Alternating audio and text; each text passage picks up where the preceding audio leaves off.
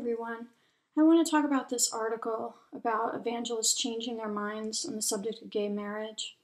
As the article points out, the number of younger evangelists that support gay marriage has jumped from 20% in 2003 to 42% in 2014.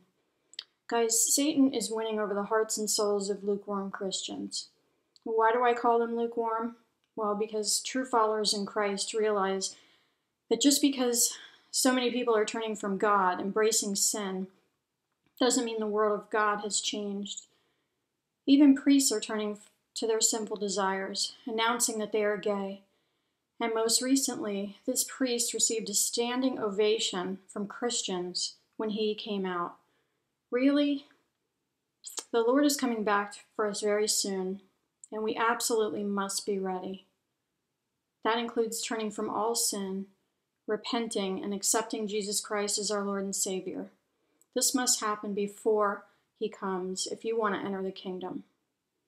The Word of God specifically tells us that those who engage in homosexuality will not enter, period.